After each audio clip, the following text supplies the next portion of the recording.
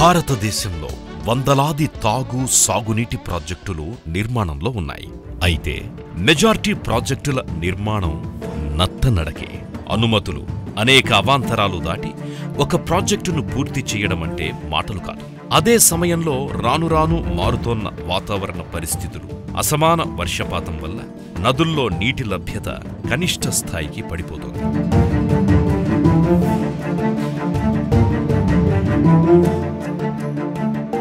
ఈ దశలో చేయాల్సింది అత్యవసరమైనది నదుల అనుసంధానం.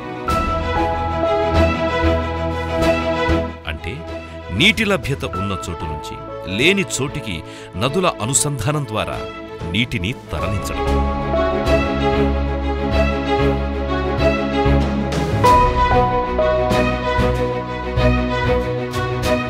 ఇలాంటి ప్రతిష్టాత్మక ప్రాజెక్టుల్ని దేశంలో ఐదు చోట్ల ఎత్తిపోతల ద్వారా నదుల అనుసంధానాన్ని పూర్తి చేసి అరుదైన ఘనతను సాధించింది మేఘా ఇంజనీరింగ్.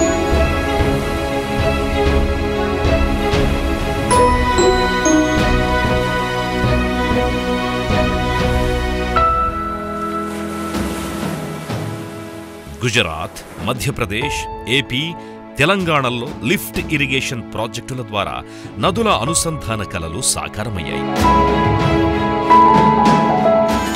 మధ్యప్రదేశ్లో నర్మదా క్షిప్రా నదుల అనుసంధానం ఎన్కేఎస్ఎల్ ప్రాజెక్టు ద్వారా సాధ్యమైంది. మాల్వా ప్రాంతంలో కేవలం పద్దెనిమిది నెలల్లో భారీ తాగునీటి ప్రాజెక్టు నిర్మాణమైంది.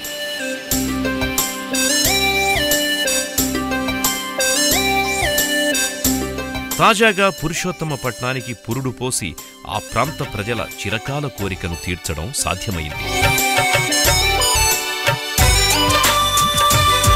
ఇక హంద్రి నీవాలో నాలుగు వందల ముప్పై ఎనిమిది మీటర్ల ఎత్తుకి నీటిని పంపింగ్ చేయడం ద్వారా ఈ తరహా ప్రాజెక్టు దేశంలోనే మొట్టమొదటిది.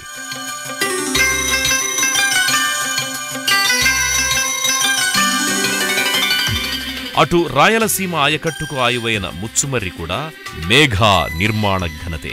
ఆరు వేల మూడు వందల హార్స్ పవర్ మోటార్లు ఆసియాలో తొలిసారిగా విజయవంతంగా వాడింది మేఘా.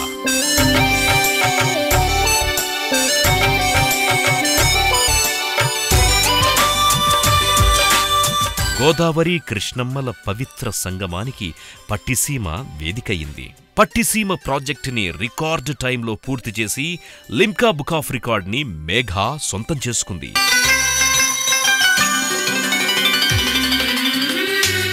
ఇలా దేశంలో ఎక్కడ నదుల అనుసంధానమన్నా కనిపించే ఫలితాల్లో వినిపించే పేరు మేఘా ఇంజనీరింగ్.